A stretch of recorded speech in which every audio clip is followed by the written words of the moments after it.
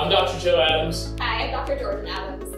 We've been a chiropractic team from school to going back to school to opening and running a practice To raising children. to raising children.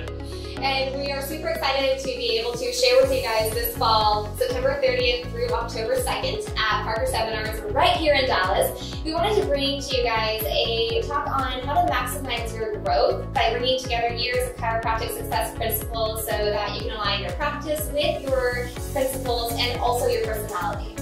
So we're really excited for this opportunity to speak and we invite you guys to come to Dallas for Parker Seminars Invictus because you're gonna get amazing camaraderie with fellow chiropractors, see the latest and greatest in the industry, and all this knowledge is gonna propel you forward.